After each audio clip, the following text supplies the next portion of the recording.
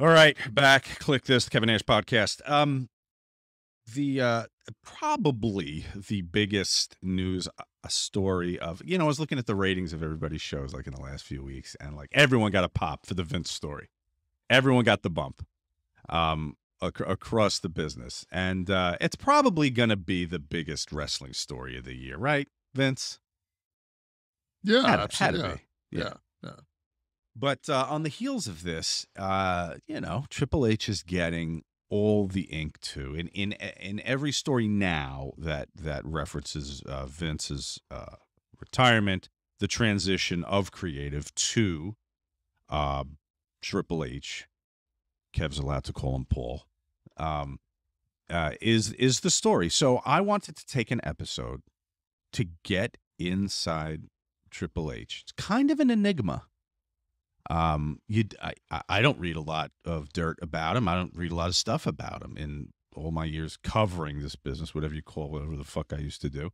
Um he he was a guy that was usually off the radar. So i thought who better than his best friend uh, to talk about him as a person a worker philosophy of and maybe by learning the artist you'll learn about the work to come. So i first want to know when you first became aware of them? We first we we were on the road, uh, you know, every Saturday, Sunday. My, and once like uh, we we talked last week, once we did those tapings, and it was you know 21, 23, whatever it was, straight days. So we're always on the road on the weekends, and um, a lot of times, you know, for some reason, like uh, uh, weekends you didn't travel. It didn't like wasn't such a push. It was usually larger towns on the weekends that we ran, and yeah, so if you were in Chicago, you'd you know you'd stay in Chicago and then maybe make it after you know you know stay an extra night or something like that. And uh, we'd always watch the WCW Saturday show, and he was Ryzing at the time. That was his, right. That's right. yeah, that was his character, and he was like he was like our favorite guy. Like he was like the Kliq's favorite guy.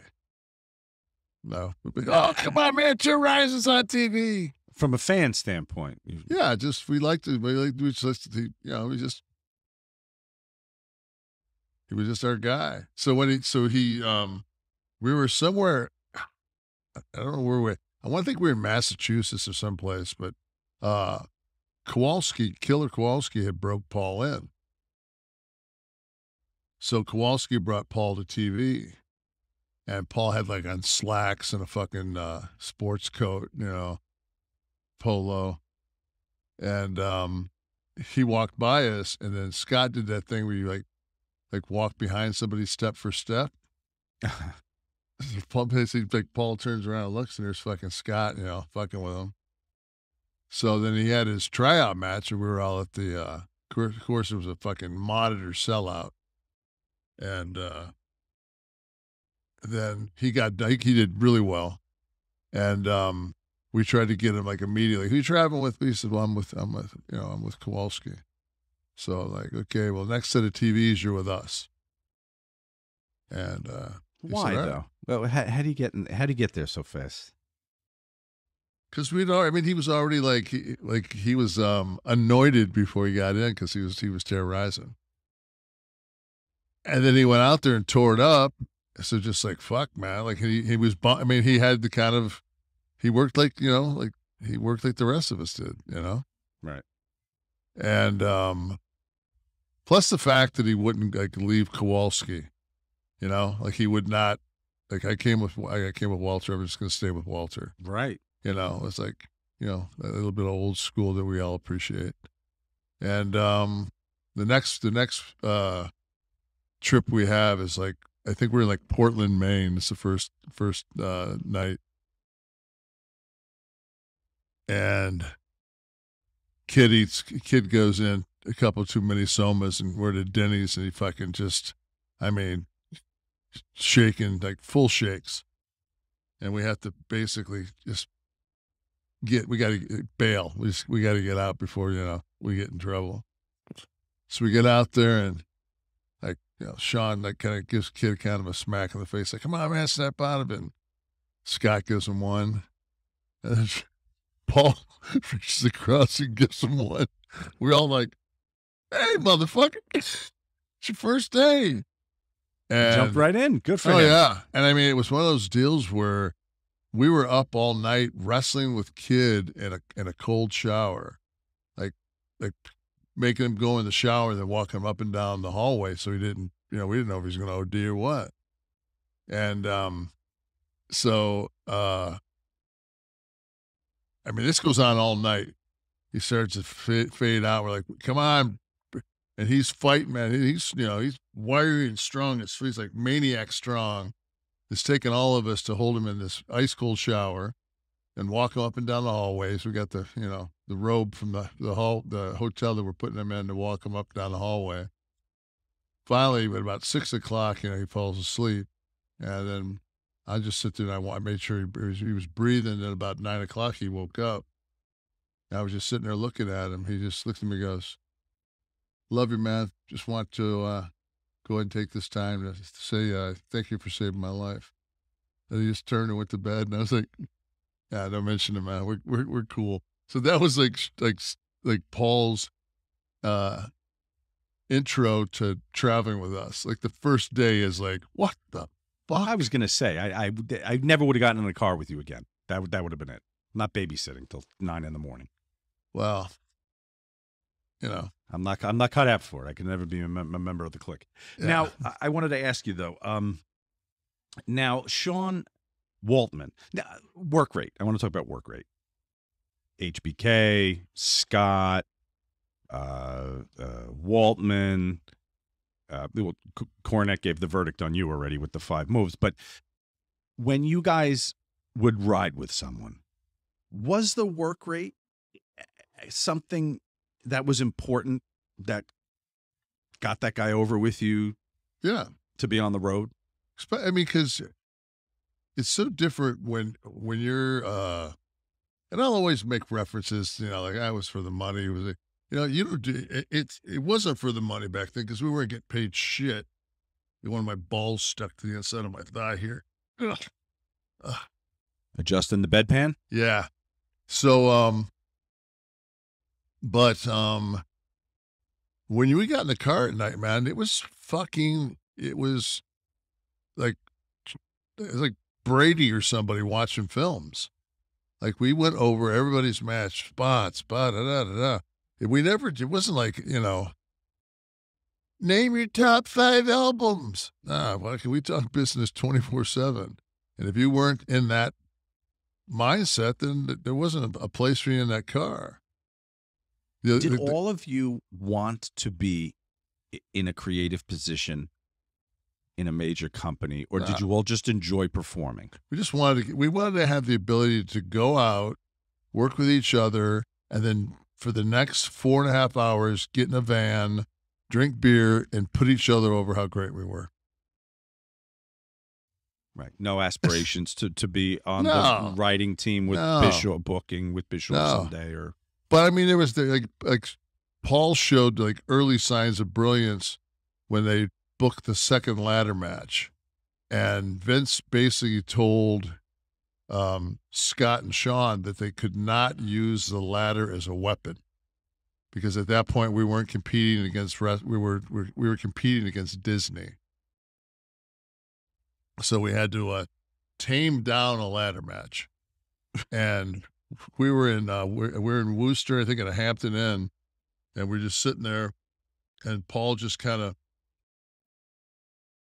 pieced this thing together, and um, you know, everybody kind of chipped in, but like Paul laid, laid the skeleton, and uh, that was kind of one of those things where I was just in my mind, I was just like, wow, you know, like the time when when when uh, Shawn Michaels got like knocked out. And we did the thing where the announcers stopped and the boys came from the back mm-hmm. with the kick. You know, it's when he lost his smile and all that shit. Well, we booked that. Sean thinks he was part of it. Sean was unconscious when we booked it. That was about 30% me, 30% Paul, and 30% uh, Scott and, and, and, Sean. But it was like Paul and I were up front, so we were kind of like, oh, and then right, because that was just right after Ripken had uh, beaten uh, Gehrig's streak for games. Oh, And remember they took they took him around the, the in a, a car around the out, like the outfield and everything, and it, they were silent on ESPN. They didn't say a word. They just let the the, the, moment become organic. And it was such a uh, the power of, of Yeah. that stood so on we, its we own. wanted, we wanted Yeah. to do the same thing. We wanted like the announcers not to you know go into any bullshit because it, it- you know to this day. I was watching uh, I, I was watching AEW a couple weeks ago. I actually pulled my son in on this, and you think somebody got hurt, and one of the uh, people called medic. Medic. I'm like, what is this? Fucking Saving Private Ryan? Don't you do that at home when someone needs? Well, I always medic? thought for, for for years, I always thought when you got injured, fucking, you called a referee because you know three ref, three referees would come down, you know, and fuck. So But um, I want to touch on the the Soma story for a minute. But Paul Paul Triple H was he didn't do drugs as far as I know, right? Is No. that right. Uh, didn't even really drink, from what I understand, right? I I I, think I got him uh, buzzed in uh, on the last day of a European tour in Switzerland, and only because I I was pounding I had him I, I was uh, pounding uh, pina coladas with him, and he couldn't taste the alcohol. And he liked coconut. He was like, "These are good." And all of a sudden, he just just like he didn't take much because he didn't drink. He was just like, "All right, I get it. Yeah, a cool feeling. Not for me." You Yeah. worked him with a pina colada to get it's like an to. episode of Gilligan's Island. With, That's right, man. Here, little buddy, take a sip. But the thing with Paul is like like we got like we got close really really uh fast because he loves bodybuilding. And like like you know like the one of the first couple of conversations we ever had late at night driving was can you name all the Olympic Mr. Olympias, you know, starting from the from uh, Larry Scott uh, going forward. Oh my god! Wow. And um, it was just like he was spot on. I mean, bang, bang, bang, bang, bang, bang, bang. And then, um, so we started training together. And at that time, there's a guy named Mike Mentzer who was doing this thing called heavy duty training. And Dorian Yates had kind of taken it and ra- ratcheted it up a level.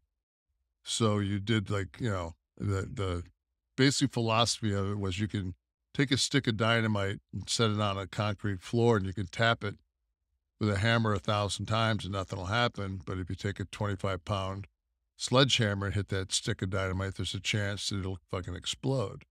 That's kind of what the, the process was and what you did is you trained these super intense, long single sets and you took muscles to, to, you know, positive failure, negative failure, uh, rest pause. I mean, you just, and you would, but you, it was a, it was a, a short, like you could do a body part in 25, 30 minutes. Were you into like uh, Vince was very into bodybuilding too. He started that Yeah. World Bodybuilding Federation, which Yeah. Anyone could have seen was going to be a disaster. What, um, d- Oh, uh, remem- oh, the only reason that failed is because of the drug trial. well, the drug trial too. But what? Where could you? What could you have aired? The the, the excitement of professional wrestling, which was WWE's WWF at the time's calling card. WBF. It was it was It's- posing. They were trying to make personalities out was- of them. yeah, I mean, I, I think they were trying. To, he was trying to to take what, what you know what pro bodybuilding was at the time and, and and give those guys personalities. Like you know, yeah. I don't know. Were you a fan? Was were you tuning in every week? no, because I mean, we were we were subsidizing it. you know, we were we're out there banging around subsidizing it. So Drinking I mean, that I- I Ico thought- Pro, baby. I- Drinking some thought, of that I, Ico I Pro. thought Gary, I thought Gary Strydom had a great physique, but fuck, man, you, you, you're killing me over here. Was that the baby face that that he kind of put in the like as the uh the face of the the Strydom was a- Strydom. Strydom never won the Olympia. I think he I think, might have won an Arnold or a Night Champions or something. He was a, he was a, I mean he was he was a very gifted bodybuilder. Yeah. Well, we should have him on. We'll talk about uh, the, Okay. the the the snatch, the snatch and jerk. There's some great names in bodybuilding. I do enjoy hearing someone talk about the clean jerk and the snatch and all That's that all. shit. That's not bodybuilding. That's powerlifting. That's actually Olympic lifting. May I never know the difference. Um, drugs and Triple H. I was going to ask you. He seems like an odd choice to be in the Kliq. because you guys were notorious partiers. That's part of the Kliq. When you think about the Kliq, you think of a couple of things. Number one, the power play element to being a member of the Kliq and the headache you gave any promoter. And B, partying. He did not party. It's odd to me. He seemed like an outlier to be a, uh, to be part of your group. What would he do? You guys are with the 34 somas, with the three, 33 somas. That was you're early. Sleeping, you're sleeping on an amplifier. No, What's Paul doing? I was early in the run because when Paul joined us, I was I was a world champion. So I mean, I wasn't. I had too many. I was I was I was way. My reins had been way pulled back as far as uh, uh, how hard I was running. It wasn't like I was the fucking uh, bodyguard. Had one spot a night I had to remember, and I could just fucking go out there and just be like, "Man, do I feel fucking rough." Did that make uh, Paul always the designated driver, maybe, uh, for you guys after I mean, show? a lot of the times you did, but there was a lot of times that I drove. You know, it was it was it was always nice to have somebody I knew, and he knew, uh, vice versa, that would would be awake to talk to. Because fucking four hours, man, with with you know FM radio back in the day was was pretty pretty rough. Right. Who had control of the radio when you guys were in the car? Was it whoever was driving, or you guys all had? input? Yeah, most of the times. It was really weird because when I came when I came in, like, um, Shawn Michaels and Scott Hall were fucking country music guys. Scott was. Yeah. Yeah. So I was, I was just like, all right, can we, I maybe play a couple of my fucking, I throw a Luther Vandross in there somewhere. As soon as this Conway Twitty's over, can I Yeah. get some uh, some of the Commodores or something? Yeah. Yeah. Um, he's with Chyna in '96. Is he riding with you still? When because there is some overlap. You go to WCW in '96, but there is some overlap, right? Yeah. We leave in June. Right. Yeah. So we're, yeah. So Joanie by proxy becomes Kliq, or Joni- just the, No. Because we're She- gone. yeah, but but but he's not with her before that. No. She wasn't there when I was there Okay. the first time. She came. She came along like you know when when they started the DX thing. Why didn't he go to WCW in '96? I know great things would come with him with DX and everything, but he had a chance to go, right? Make the money you guys were making. Did you talk about it? Did, did I think he no, because he had just signed. He had another like year. You know, it was it was a three year deal. He had another year left. was there any consideration that he might go when the deal was over? No, because by the time he got out of the, do- I mean, he, was in the doghouse at you know for so long after that uh, curtain call, and he just you know he was a good soldier, man. He just took his punishment and you know and got it and got a spot. Did you talk to you about it? The Yeah. the time that he stayed after you left and he had to Yeah. do the uh, penance. Well, he was. I think. We, I think we're all kind of pissed that Sean didn't do a better job of protecting him. But Mhm. um, Sean was in a bad place at that time too, and it was. I mean, Paul really, you know, did the best he could with that, and then eventually, I think Timmy White, God bless him, man, um, became the uh, the caretaker for Sean. we've talked multiple times in different things we've done together about the curtain call, and it's been talked about ad nauseum. But the point I want to make is Vince didn't have the problem with this that everybody seemed to think he did. You told me on air on something else that you ran it by him. You, I think we talked here uh, Yeah. one week that, Yeah, that you were well, like, no, listen, he, we he, just he want- said he he said right time I was there. He said to, to Shawn Michaels, he said, "If it's important to you, it's, Important it's, to you, it's right. impor- If it's important to you, it's important to me. Go ahead and do it." So why is there punishment meted out after the fact?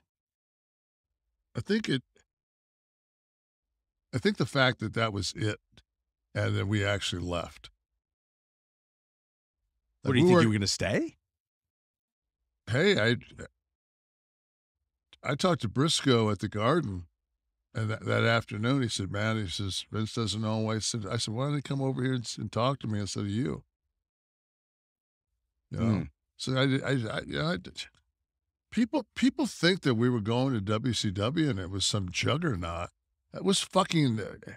Got I say it a thousand times. The pay per view before we came was the the monster truck on Cobo Hall. The giant fucking got pushed over the side of the parking garage and landed, you know, twelve stories down and was in the main event and got ass raped. The real summer of '92 by the Yeti, Ron Reis. Oh, right.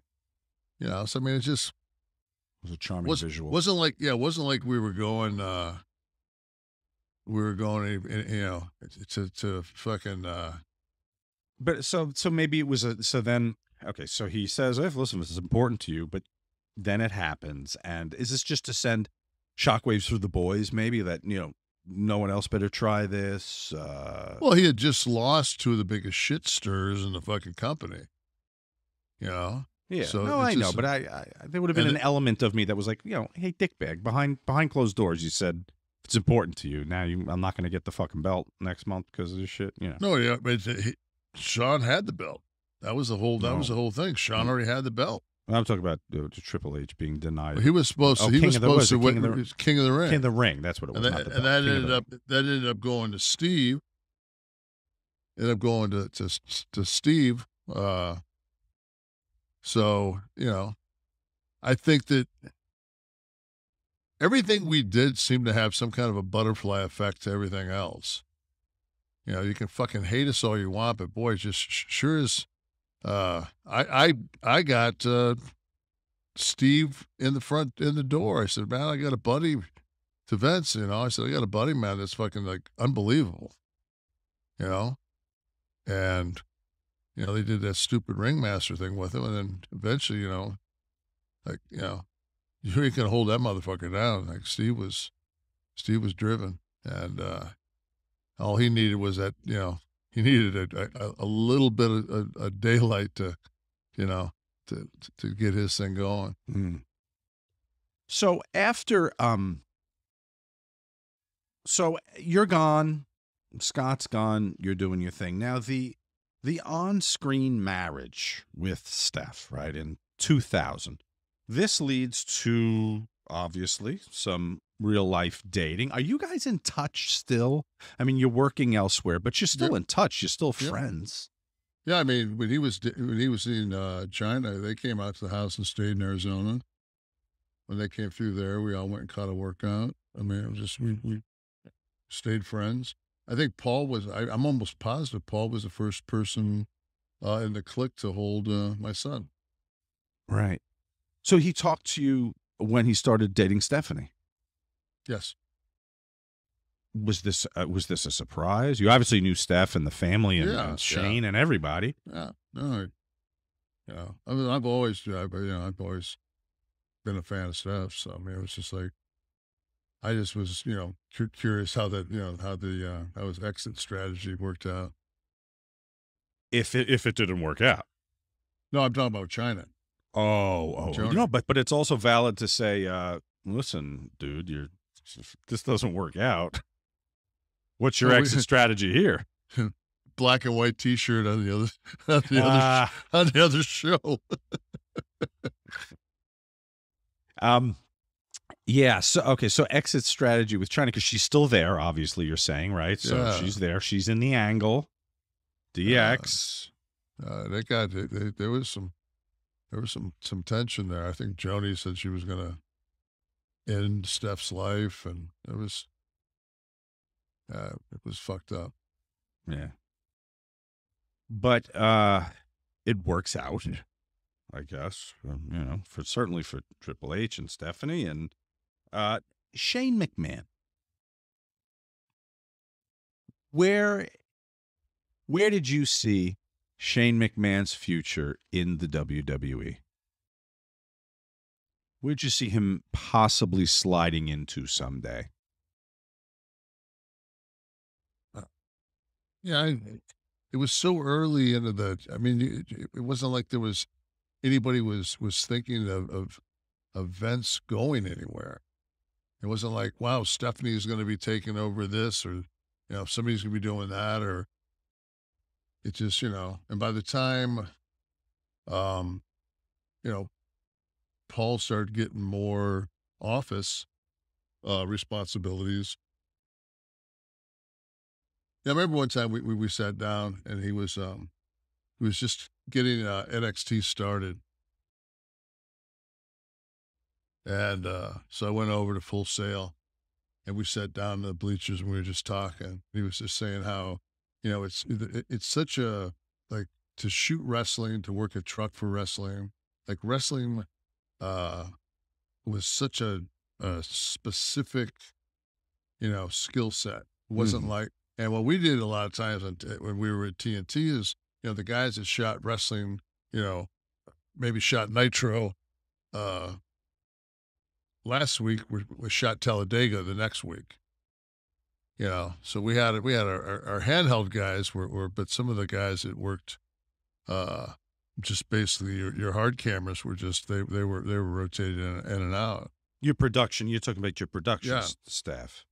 So But in a family company, though, I mean, no, no one thought Vince was going. But when when there's somebody who is the head of the company and the whole family is involved, there has to be discussion about what do you think that'll be his someday, or what do you think they're going to have him do? Is he be telling me what to do some week? Is he going to stay a talent? Maybe.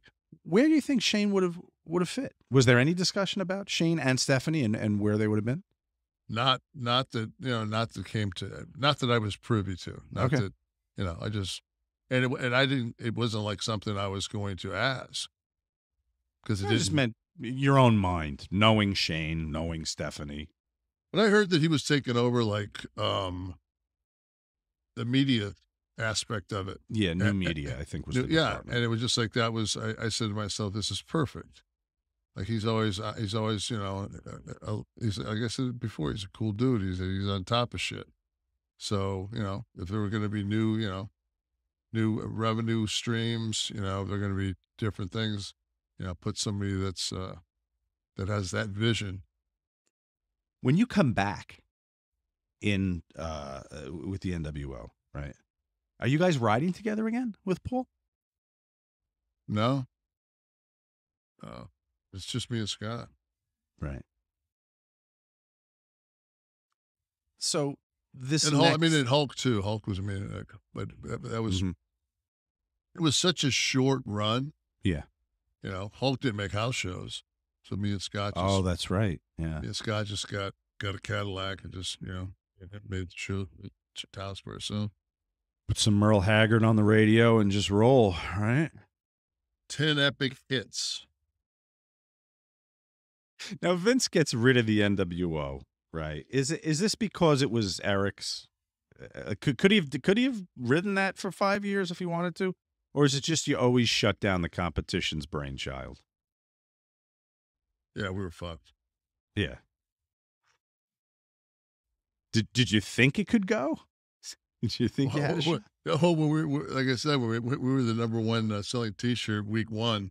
I had an idea we might we, we might have some traction. yeah, Ugh. Now he's he's not yet in any official position of authority, right? When you come back, no, but I mean, you guys aren't morons. He's he's they're married now. He, you have to be having some consideration that he's going to possibly be in a position of authority with the company. I don't, maybe not. Maybe you weren't thinking in terms of an executive uh, position, but certainly in the creative and booking and writing. like you have to realize you have to realize like from my standpoint, like my buddy blows his quad, and um, I'm I, I you know like I'm just more worried. Like that point, I mean, me and Disco went down and got in the ring with him in Birmingham, you know, as he was getting ready, and uh, like I, I went down there a couple times and just you know, you know, we went out to sushi and shit when he was just hanging out down in Birmingham, and um, we were just we were more concerned like eh, we were in the moment. Like I remember when he came back, and I think I think it was the garden. He came back, and it was just, you know, he looked he looked amazing, you know, and he he, was always um, such a workhorse, and he just had you know he'd been gone a while, and it was just like he picked up right where he left off, and You know, he had he had had so many great runs with so many guys up there, and Paul was always really giving. You know, so But but but the consideration, though, of course, he's a great worker, all that stuff. We know all that, right? But his his marital position in the McMahon family has to be a consideration with you guys, as far as his future being in control. yeah, I mean, but no, like we're not.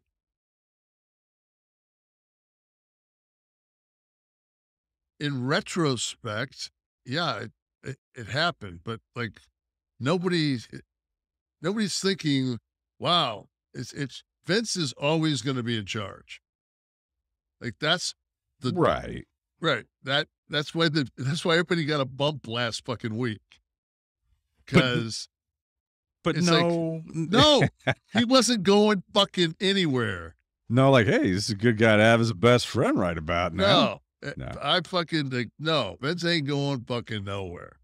so it's just like you're always gonna what are you gonna be? Two, three? You're not gonna bat fucking clean up. That's just the way it is. It ain't gonna fucking happen. His positions o- over time. I mean, I the the verbiage and the you know the corporate titles. uh, Executive Vice President of Talent and Live Events, Executive Vice President of Global Talent Strategy and Development. Then I, oh, actually, there was a step in the middle there. 2013 would have been Executive VP of Talent, Live Events, and Creative.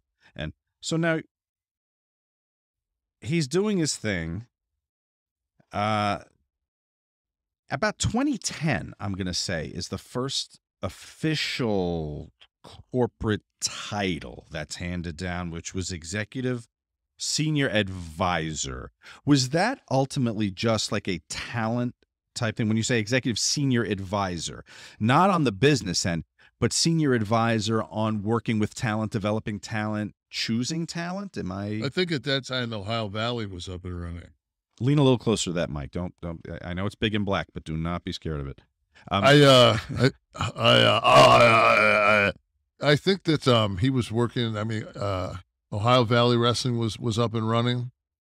Um they had that um Florida champ I think like the the first before yeah, the it, Florida developmental. Yeah, they had know that. it's- yeah. And then so I th- I know he was involved in all of the, all uh of the phases of those and then eventually the performance center uh was I think pretty much his brainchild. But the thing was also that Paul uh you know Paul was very instrumental in the like as they became more of a global uh entity. You know, we did uh Europe. We ran Europe. We didn't you know, we did Mhm. Did India, did Israel. We weren't global. We didn't go to South America. We didn't go to fucking. We, we, we didn't go to Rome. Didn't go to Paris. You know. I wrestled all those places on and and indies, and uh, so they started having, you know, rings, and uh, like you know, put in these and like they warehouse shit in each of these countries, so they weren't dragging it around. I mean, so they were, you know, and, and he was he, he was in, in charge of a lot of just those small specifics on making the it just logistically logistically easier to globally run house shows. Oh, that's interesting. So, be, when you got global, there would be like a hub in, near certain places you were where there was a WWE ring to your specifications. Because of Right. course, years before it was whatever ring they set up in Right. Puerto Rico or Mukesh wheeled a ring into you know Pakistan. then, yeah, then we had we had an office in London. WWE had an office in London. You know, I mean, we started. Uh, you know, the company really started it, and that was all after it, it, it went public. I have never heard a bad word about him ever. Any well, from the developmental guys that I've talked to to you know the name guys, and I'm talking about off. Of course, on camera, no one wants to say anything about Triple H. I understand that, but like even off camera, like he's he's somehow just like always maintained a squeaky clean reputation and it's not always as obvious as well he's a good guy so no one's I've, I've heard people i thought were good guys have shit talked about them by people that were jealous or or You'd have to meet his mother and father. Oh, tell me. His mother and father are like salt of the earth. The, the, the just the two of the nicest human beings on the planet. His socialization process is, uh, I mean, is is as close to leave it to Beaver as probably you could have.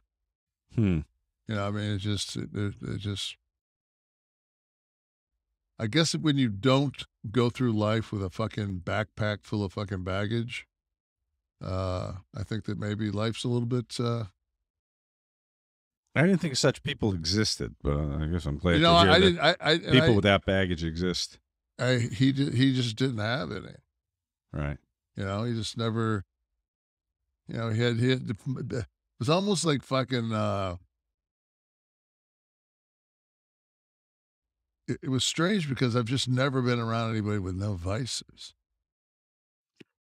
You know, Right. like like like wow, like you're really fucking talented. You cut a good promo. You're fucking you're funny as fuck. You you, you don't miss a workout, and you don't have any vices. Does that make him boring? No, No. he's funny as fuck. Somebody's uh, Got a great got sense of humor. something. Some people, even if it ain't drugs or, or or some monkey on their back, people fuck their pets or something, right? Only in Florida, man. Right.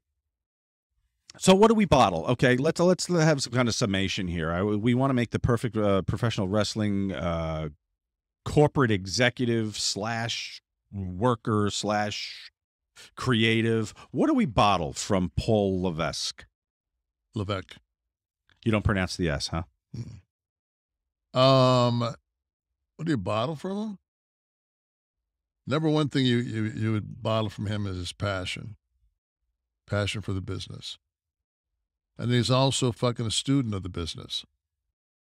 You know, I, th- I think that's huge. I think that if you know, uh, if you know the history of, of, of most things, especially if you know the, uh, the downfalls of uh, corporations or uh, anything. If you know the history, then the the chance of you re- repeating that is is is is a lot. Is very limited as opposed to, to to you know being somebody that like maybe was the 45th president that uh, wanted the um the troops to be more like they were to towards Adolf Hitler, and then the general said, "Well, you know, they tried to kill Adolf Hitler three times." He goes, "Didn't know that." How about the fucking movie with with fucking Tom Cruise? Huh? Remember that one? And then the fucking I said to myself, I'm like, who the fuck goes sees this movie? The trailers telling you that Cruise and his fucking cohorts are going to assassinate Hitler. I know history. I know that motherfucker didn't get assassinated. So what's the upside of me seeing this fucking film? I know the finish. Could be speculative fiction. It's, Ah, uh, histor- speculative historical fiction. I don't know. But a lot of, I mean, a lot of people are are, are students of the game. You know, uh, you, you you've worked with people who who are great students of the game. I've worked with Jim Cornette, great student of the game. Could talk for hours about any promotion and what worked, what didn't work, and that. But is, but is there some? Is he a great listener? Is he someone who is? He's got uh, an eye for talent. Okay, right. He's got an eye for talent, that's for sure. Look at the guys, you know, look at the people that he he, you know, he's kind of handpicked and and pushed up on uh on the WWE product on Raw, and they were just like every time one of them went up there, man, it was just like, how quick can we can we dismantle what got him over and fuck this dude up? Like I just, you know, it was almost it was just like when he got sick. When he had the heart episode, they couldn't fucking get down there and dismantle what he had built in NXT quick enough. I thought that was fucked up, man. Hmm. And and just, what was the impetus for that? Why?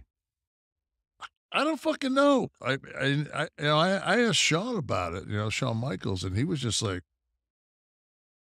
like, you know, Shawn's, you know, is, is just, is so changed. He's just not, he's not, you know, he's not a shit disturber anymore. He just, he does his job. He does it well and he, he does the best he can and he goes home to his family. Maybe today's Shawn wouldn't have been in the Kliq.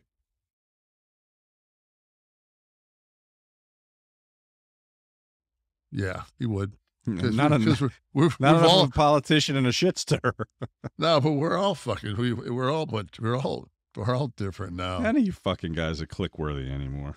You just got a show with the name on it. Oh fuck, I'll take it.